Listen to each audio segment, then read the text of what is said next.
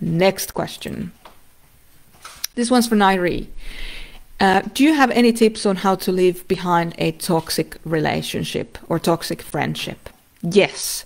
So, a couple of things that are really important to realize about toxic friendships or toxic relationships is that, you know, you have the right to either be a part of it or not be a part of it. So, if you choose to be a part of that dynamic, that is your choice. You have the right to choose that, but you also have the right to leave that dynamic behind. You are a sovereign being and you should have the kinds of relationships that you actually like that nurture you as a person that help you also grow so i want to make a differentiation between a toxic friendship and a growth friendship a growth friendship is something where the person challenges you to grow as a person. You don't always agree with everything, but you also understand that there's a good sense of goodwill and care for one another. Whereas toxic relationships are about power games, you know, you come together and, and you can feel that the other person wants to have one over you, or you don't ever feel safe in those toxic friendships or relationships.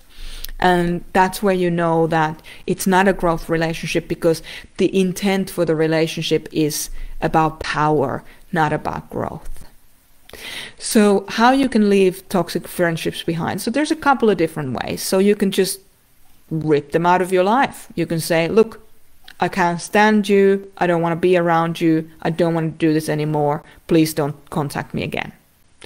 That's one end of the stick. Another end of the stick is to say, not say anything and just kind of start ghosting the person. So just start not communicating with them, not getting back to them, not engaging with them.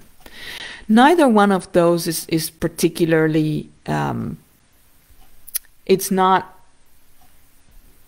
a particularly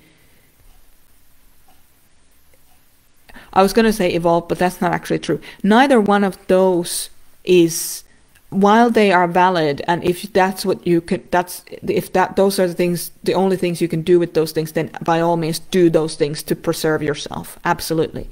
But they're not a growth space so they're a very defensive space. So with a growth way of dealing with toxic friendship would be to take ownership of what you bring into that toxicity. So ask how do i contribute to these power games? And and then say to your friend hey I've realized that our relationship is based on, or this is the sense that I'm getting. I'm getting a sense that I'm having to compete with you a lot of the time, or compete for your, with other people for your attention and so on. Um, can we have a really frank conversation about, you know, the the dynamics that are in our relationships? Or in our relationship. So they may not may or may not be able to do that or you may or may not be able to do that. But at least if you do do that, if you're in a space of growth, you can go and you can do that and you can actually find out that they might have had an insecurity about something that you weren't aware of, or you might have had an insecurity about something that you weren't aware of and they weren't aware of, and that was contributing to the toxicity of the relationship.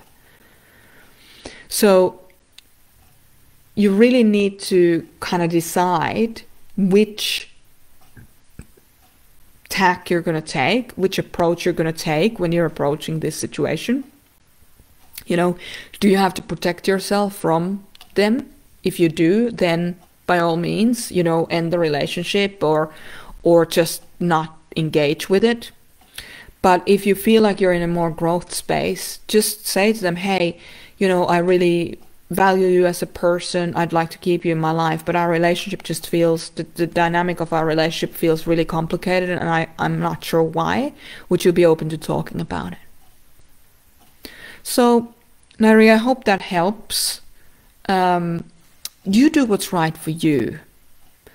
Uh, where you are, the resources you have in your life right now to to go ahead and deal with that. So, yeah, let me know if that was helpful and if anything else came up from that that you uh, needed to look at.